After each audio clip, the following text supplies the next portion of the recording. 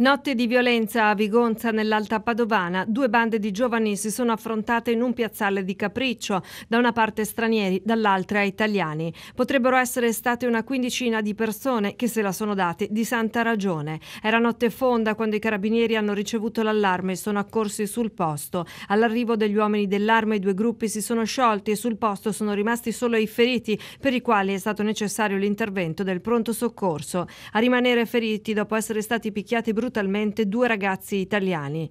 Ad alterare gli animi potrebbe essere stato l'alcol che potrebbe aver fatto degenerare una lite nata per banalità. Saranno i carabinieri a fare chiarezza.